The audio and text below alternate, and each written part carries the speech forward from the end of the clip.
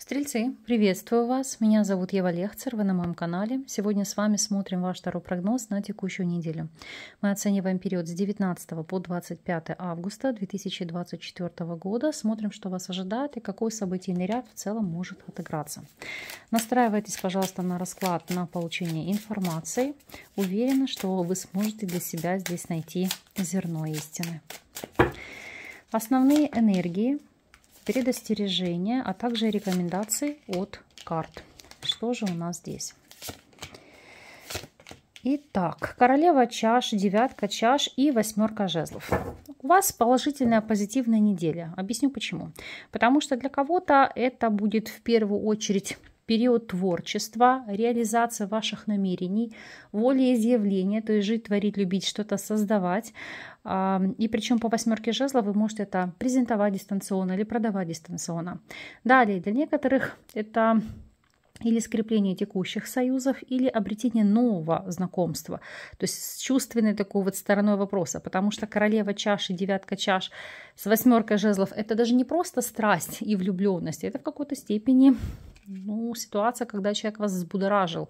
Это любовь с первого взгляда. Поэтому у некоторых может отыграться именно в таком ключе. Еще у кого-то может, знаете, разыграться не то чтобы даже гастрономический вкус, а тот момент, когда вы хотите сами создавать, сами творить, прошу прощения, садится голос, а, может увлечься кулинарией, или если вы хорошо готовите, то вести свой блог и вещать людям, делиться Э, этим с людьми, то есть вашими какими-то наработками и так далее. То есть это все будет идти в плюс, будет идти в позитиве. Оцениваем с вами вопросы личной жизни на эту неделю для тех, кто у нас свободен. По шестерке чаш, как правило, это вопросы прошлого, попытки или восстановления отношений из прошлого, то есть начать наново. Или, может быть, несколько иная ситуация. То есть человек, который был в вашем круге общения, вам как друг, ну, может, знаете, как по отношению к вам проявляться по-новому. И дружеские отношения могут перерасти в личные. Если вы у нас в любовных треугольниках по аркану справедливость, это такой момент, когда вы захотите, чтобы ваш партнер или партнерша взяли на себя обязательства за ваш союз, за ваши отношения. Поэтому, например, если ваш партнер или партнерша не свободный, вы будете настаивать на бракоразводном процессе. Если вы состоите в формате, назову так, свободного союза, еще не определившихся, да, то есть вы свободный, э, ваш партнер свободен, то это будет все идти к тому, чтобы вы узаконили свои отношения официальным браком. Во всяком случае, по восьмерке жезлов будут вестись разговоры по этому поводу. Для тех, кто в стабильных связях, у вас здесь солнце. Это радость, комфорт, процветание. Это совместные поездки. Это может быть даже подготовительные какие-то этапы к отпуску, потому что Королева чаши, девятка чаш, это, знаете, как предвкушать. И по восьмерке жезлов поездку. Ну, то есть готовиться, что-то, может быть, собирать вещи, переводить себя в порядок и так далее. То есть это, знаете, такие а, положительные, приятные эмоции кстати, если вы длительный период были на расстоянии, это увидеться, это съехаться, это когда вы уже вместе, неразлучны. Поэтому Солнце здесь указывает на полноту жизни и счастья. Оцениваем с вами ситуацию относительно вопросов работы, бизнеса и карьеры. Для тех, кто на данном этапе у нас не работает. По аркану дурак, смотрите, это найти себя, свою нишу. Это как новый старт, новая возможность, заинтересованность и ваша личная.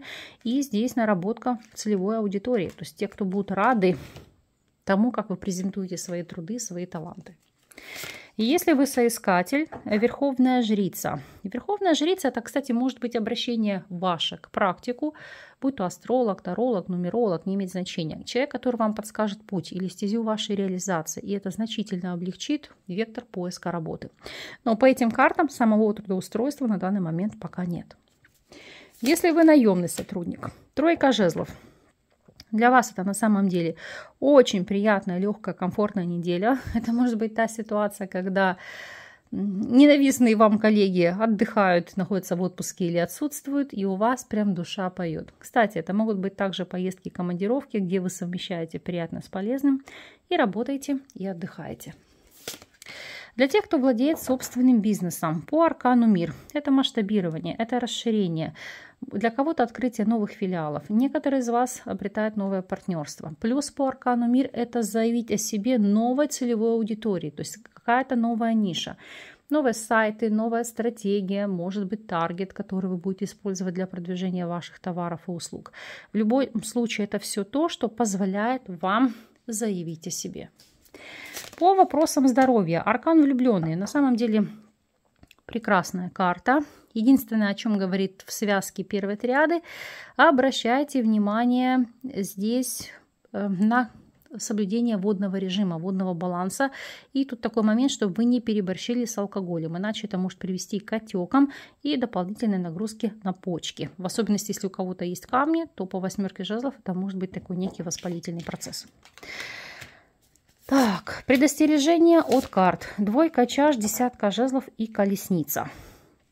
На самом деле э, могут быть, ну, предостережение заключается в чем? Какие-то сложности в поездке, например, задержка рейса или задержка на таможне, или там тотальный досмотр ваших вещей или документов. Но ничто не испортит вам эти позитивные моменты, потому что двойка чаш, это, видите, как единение, это все равно преодолеть совместно все трудности и по колеснице двигаться вперед. Опять же, если это касается знакомств через интернет, это могут быть сложности, ну, как непонимание, то есть какой-то языковой барьер или разность менталитетов, которые ну, будут вызывать какой-то диссонанс, но в любом случае по аркану колесницы это активно развивать общение, коммуникацию и выстраивать отношения. По совету от карт, здесь у нас ложится король жезлов. Но для мужчин это вы сами, то есть вы ставите себя на пьедестал в рамках этой недели, прислушивайтесь к своим желаниям, целям, амбициям. Для девушек и женщин это могут быть советы, помощь, поддержка со стороны мужчины огненной стихии, овен, лев или стрелец, активная коммуникация с ним. Ну а в целом, как характеристика текущей ситуации, это ставить для себя более высокую планку, достижение идеи, цели или мечты. Ну и как следствие приложить максимум усилий, чтобы это реализовать. Смотрим неожиданность периода. Что здесь? Итак, Гроб, книга «Развилка», но колоды карта Лили. Это новый подход к образованию. Это может быть э, возврат к образованию, если у вас это было на паузе. Или, допустим, вы получили одну ступень, у вас был бакалаврат, теперь вы продолжаете дальше, идете, например, в магистратуру.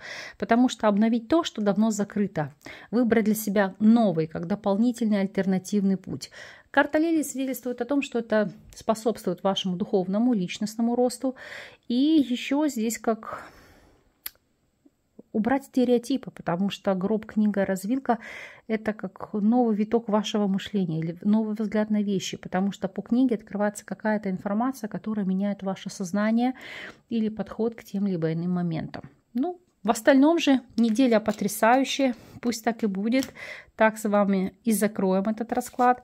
А вы, пожалуйста, по прошествии периода дайте знать, напишите, как по факту отозвалась, отыгралась информация, какие перемены у вас произошли. Буду вам признательна за энергообмен. Если видео для вас было полезным, ставьте лайки, оставляйте комментарии и делитесь этим видео с друзьями. Я с вами не прощаюсь. До новых встреч!